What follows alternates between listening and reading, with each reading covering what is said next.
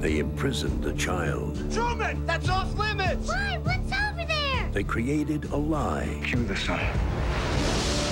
They controlled a life. I'm Truman Burbank.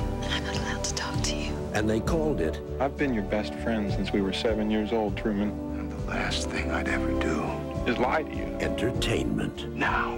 close. I think I'm mixed up in something. Everybody seems to be in on it. He's not a performer, he's a prisoner. Look at what you've done to him. Don't tell me what's happening, I'll report you! It's the movie Newsweek calls the number one film of the summer. He's gone.